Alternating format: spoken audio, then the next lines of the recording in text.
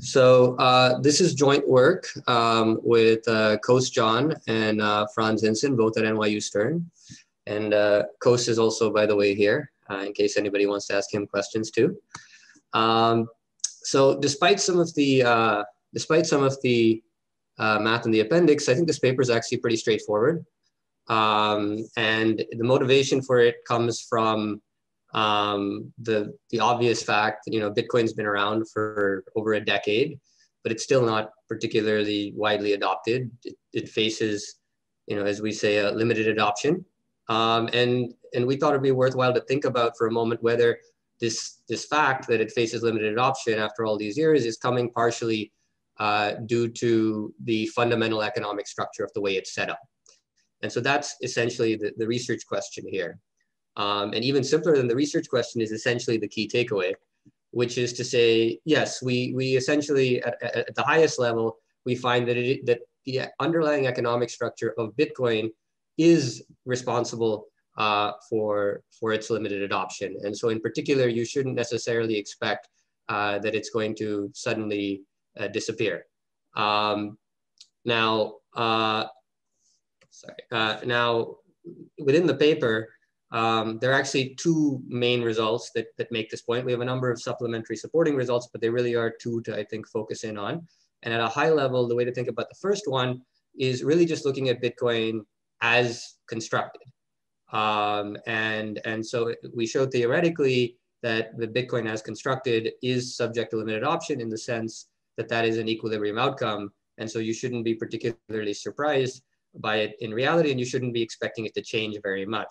Now, one, one reaction though sometimes is that, well, perhaps uh, a way around it is, is that, you know, Bitcoin has a, a maximal transaction rate and perhaps relaxing that transaction rate would, would enable us to overcome this problem.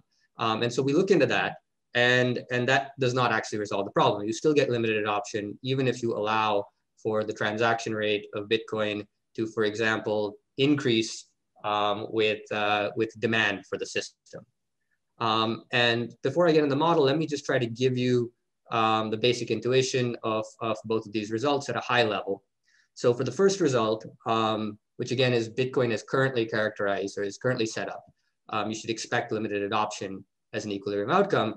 Well, so think about for a moment how, how, would, how you would overcome limited adoption in the first place. Well, at a minimum, what you need is you need more people to actually use the system um, by definition, right? Um, of overcoming limited option. But what would happen if, if a lot more people actually tried to use the system? Well, you'd get a lot more congestion, and that congestion would endogenously cause fees to go up. So this is not materially, this is a pretty straightforward point, and it's not materially different than the fact that, for example, when a lot of people want to use Uber, you get surge pricing. Um, congestion is going to cause fees to go up endogenously. Um, but remember that the mining network or the mining market is competitive uh, and it's characterized by free entry. And these fees are revenues for the miners. So this increased usage, which is going to generate increased fees, is increased revenue, which is going to induce entry in the mining market. And the and what that means is you have more computers that are trying to solve this proof of work puzzle. And what it means then is that the network topology of Bitcoin is going to be more dispersed, and it's going to take longer to communicate information across the network which is to say that it's going to increase the network delay of the system. And partially what we're showing is that the network delay of the system, when it goes up, it's going to actually become harder to generate consensus, which of course is core to Bitcoin making any sense. Um, and if it takes longer to generate consensus, then ultimately users actually have to wait for their transactions to settle more than they otherwise would have. And as you know, I think as has already come up, payment systems the whole value proposition from, from user perspective is speed. So you're, you're not necessarily interested in waiting a long time, um, whether it's for traditional reasons or it's for something like consensus to be achieved. Um, and so indeed, you end up getting limited adoption. Um, and, and the system isn't really very well set up to absorb increased usage. Now, again, one way to react to, to this is to say, well, maybe you can alleviate some of that congestion by, by allowing the transaction rate to, for example, increase when there is when there's more demand, demand in the system. Um, but that, that, turns out not to work. And I'll spend a fair amount of time, uh, hopefully in this presentation discussing that. So for now, let me just say that essentially the reason for that um, is that an increased transaction rate uh, leads to persistent forking. It leads to essentially more confusion, more disagreement, and therefore a longer time to generate consensus and still limited adoption. Now, the thing I want to emphasize here um, is that if you look closely at these, these results, which, which at this point I'm only stating at a high level, uh, what's driving them is really stuff that differentiates Bitcoin certainly from something like a centralized payment system. So what's really key is this need for consensus, um, which is not really something that would exist in a centralized payment system, and also uh, the, the endogenous network delay. Um, but hopefully that'll be clear as I, as I move on. So let me actually get into the model. So the model has two types of agents, um, users and miners. Um, uh, so the miners are those that store and update the ledger, as we all know, and the users are just people who are trying to use the system or interested in having payments uh, done on the system. And since we're studying Bitcoin, of course, we're going to model Bitcoin. But since we're since we're uh, studying adoption, uh, we're also going to need to model um, an alternative system so that there is an adoption decision. And we are going to do that in a fairly reduced form capacity. Um, so first, as far as the miners go, it's, it's pretty straightforward, so I won't spend too much time on this. The key thing to know, which is standard, is that the miners are going to optimally process fees in, in descending order, right? So for example, if Catherine is gonna pay a higher fee than I am, then she's gonna receive service before I am. And the mining sector is competitive, so the number of miners are endogenous and determined uh, by, by the free entry, uh, by a free entry condition. Um, as it pertains to the users, um, we're actually going to use a, a, standard preference structure that is used in, for example, Huberman, Leshno, and Moallemi. Um, and so we're going to have a user preference structure characterized by three pieces. The first is that users do get an exogenous uh, positive utility from using Bitcoin, characterized as by this R next to the max. Um, but other than that, as we say, it's a payment system. And so users don't like waiting. And so that's going to be, that's going to enter into the user uh, utility in that second expression, which is the wait disutility, we're going to allow that, that, that users are heterogeneous in terms of their uh, disutility sensitivity, which is the CI, um, corresponding to the user I's uh, disutility per unit time. And of course, that's going to, the total disutility is going to be the sort of sensitivity multiplied by the actual expected wait, which is given by this W function. And, and you can see it's a function of F and F negative I, which are the fees that you pay and the fees that everybody else pays, right? And so users don't like waiting. Uh, and how do they alleviate their waits? Well, they can pay higher and higher fees. But of course, they also don't like paying fees, which is the last and third term in the, uh, in the, in the user preference structure here. And so essentially users don't like waiting and users don't like paying fees. Um, the more fees they pay, the less they wait. The less fees they pay, the more they wait. And so there ends up being an interior optimum, uh, which, which users would pay if they were to use Bitcoin. But we're going to allow that there is an alternative. And we're going to basically normalize this outside option to zero and say that if the maximal fee, uh, sorry, if the, if the optimal fee um, generates a utility which is negative, then the user abandons Bitcoin and uses something else. And that's the sense in which adoption is modeled in this, in this uh, paper. Now, one question I think that's always kind of important to, to, to think about when, when you're sort of uh, examining a theory paper is to say like, okay, so what's new and where are the results being driven from? And, and the truth is in this context, the key thing to keep your eye on is actually this, this endogenous wait function. Um, because apart from, for example, Huberman, Leshno, and Moallemi, we're gonna model the consensus process more thoroughly, and that's actually gonna be very crucial to driving our results. So to, to, to, to deep, to, to dig into that, I need to talk a little bit about how, how we model the blockchain. Um, and so as, as a first point, I think, you know, everybody here is probably already familiar with this. Um, of course, the, the proof of work uh, puzzle is just a bunch of Bernoulli trials, which thanks to the Poisson limit theorem, we know that when you have a lot of trials being done with very low success probability, um, and, and, a lot of them are being done in a short period of time, that that's uh, approximately Poisson, which sort of gives rise to the Poisson process. And so people tend to model um, the, uh, the uh, block production rate for an individual miner as following a Poisson process. And that's also what we're going to do.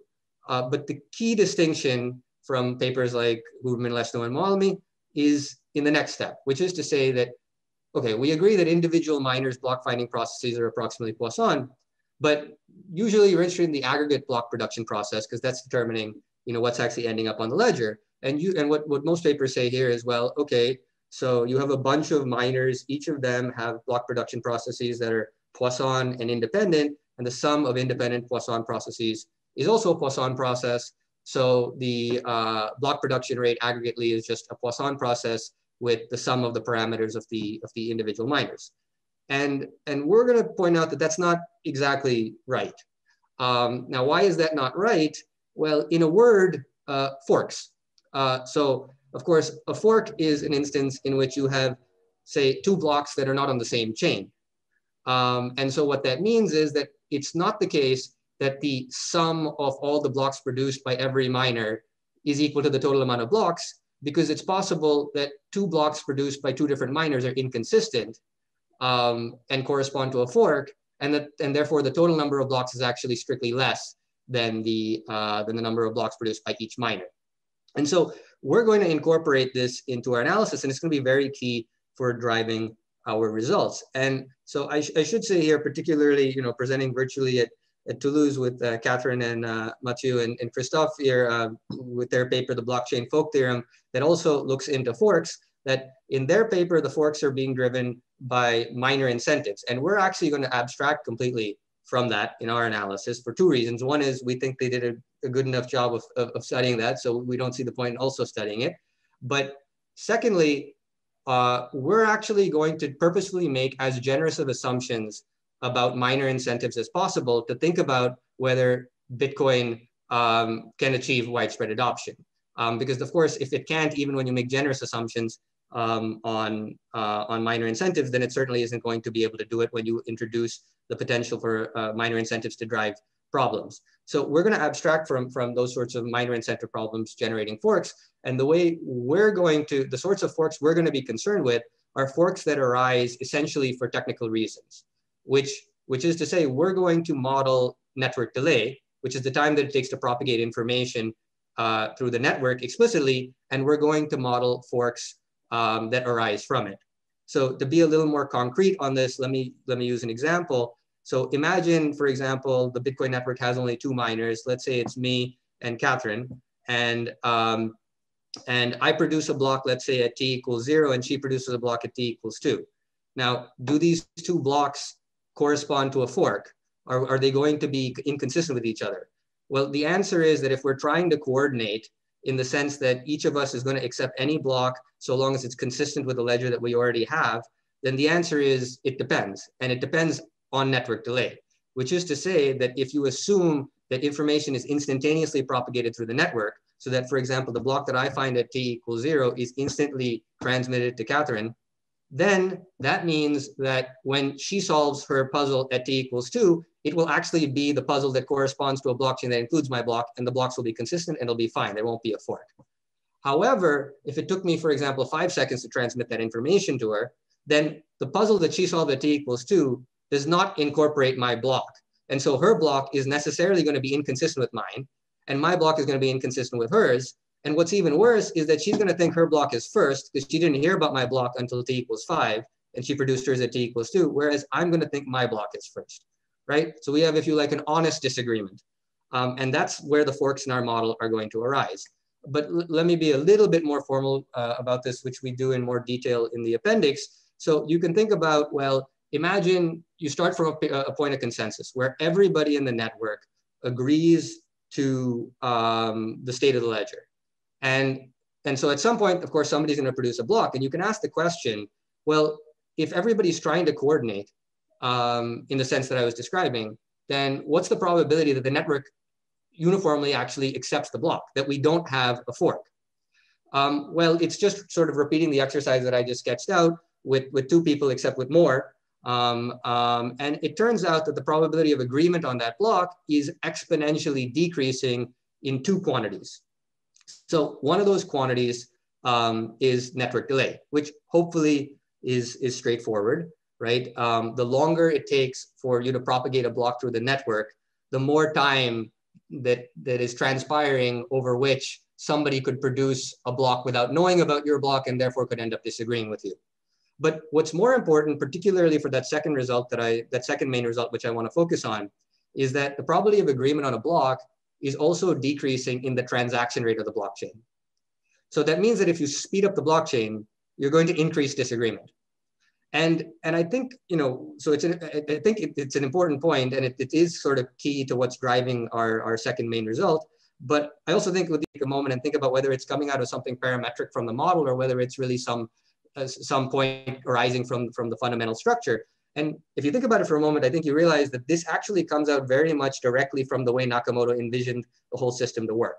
Why do I say that? Well, so the whole point of the proof of work puzzle as it's devised, which is which is why it's a useless puzzle that you solve by brute force, is that there's not supposed to be anybody in the network who gets an advantage in solving the puzzle relative to anybody else.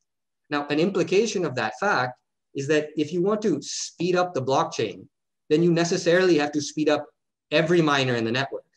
There are no, I mean, in practice, of course, everybody's going to try to use the best computational power. And so they are actually going to be approximately equally likely to solve the puzzle. But, but so you cannot have one, one miner sped up while another one is not. You have to speed every miner up to speed the network up. And what is the implication of that? Well, so if you speed up the network, you will get blocks faster but you will also make it essentially impossible to propagate blocks through the network fast enough to not have a disagreement. So one way to think about it is you want the first block to come faster, but the moment the first block comes up, you suddenly want everybody to stop so that that first block can be propagated through the network without disagreement. But you can't just turn it off. You can't just slow it down. And in particular, one of the reasons you can't is because the rest of the network doesn't even know that the block has been discovered. And the problem is that you're not able to convey the block fast enough. And the reason you're not be able to is precisely because you sped it up. So it's sort of building in a self-defeating aspect that, that undermines the ability to, to speed up the blockchain. Um, so, you know, uh, we, we model network delay um, in the paper in a fairly parsimonious way so that we can capture sort of arbitrary market structures. And we formally state the definition of an equilibrium and we show that it exists and is essentially unique. Um, and here's a restatement of our first result um, and some intuition, which I'm gonna skip over uh, due to time. Uh, I wanna focus on the second result, um, which again basically says that even if you allow for the transaction rate of Bitcoin to vary with transaction demand, then up to Bitcoin remaining decentralized, Bitcoin is going to necessarily uh, experience limited adoption. Um, and, and so just digging in a little bit further on that and using some of the structure I just, I just explained, for, for the forking probabilities. Um, within the model, this endogenous expected wait time, uh, that W uh, of F and F negative I on, on, the, on the user preference slide, it's going to decompose into two parts. Um, one is what we're calling the expected traditional wait time, and the other part is what we're calling the expected consensus wait time. And so one of the key points here is that if you had a centralized system, this thing we're calling expected consensus wait time would not exist. Um, so, so what would you have? Well, essentially, you know, you have a number of users that are in some sense higher priority than you are, um, and you got to wait for them to get processed, and then you would get processed, right? And that's how it would work basically in, uh, in, in a centralized system, and that is still part of the story here. And that makes it very easy, in effect, to sort of overcome things like limited option. Why? Well, so for example, you know, you have 10 people ahead of you in line, and it takes maybe you take maybe 10 every second, that's a one second wait, and that's probably fine. And if suddenly there are 10,000 people in front of you because demand has exploded or whatever, um, you could, in a traditional centralized system, you could just speed up the system and take 10,000 per unit per second, and you still have a one second wait. And that would solve the problem. Just speed up the thing and it'll be fine. But here you have this second term, this what we're calling the expected consensus wait time. Um, and this is, for example, a specific parameterization of the model, but, but the main point is more generally true. It's just, this is very clean, um, which is the expected consensus wait time is essentially exponentially increasing in the transaction rate of the blockchain. And so it's not an accident that the, that the, the forking probability was exponentially decreasing, or sorry, the agreement probability was exponentially decreasing, and this is exponentially increasing. Those are very closely tied together. But the point essentially is that you have sort of exponential, exponentially higher disagreement as you speed up this blockchain. Um, because the blocks are coming so fast that there's just no ability for the system to converge. And it, it does eventually converge with probability one, but it, it, it converges, but the time it takes exponentially increases. And so in fact, if you do the exercise that you might do in a centralized system of speeding up the blockchain by taking the transaction rate to infinity, that first term does vanish, but the second term explodes. And so the whole thing ends up being self-defeating. Um, and, and, and, and if you try to speed up the blockchain too fast, you're just going to get persistent forks, essentially uh, exponential confusion, and, and the system will become unusable. And the wait times will be too large, and you'll still get limited adoption.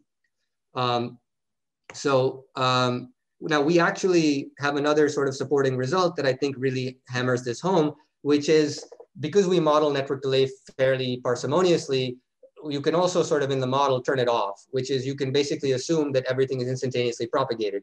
And indeed, if you assume that everything is instantaneously propagated, uh, then, then limited adoption basically disappears.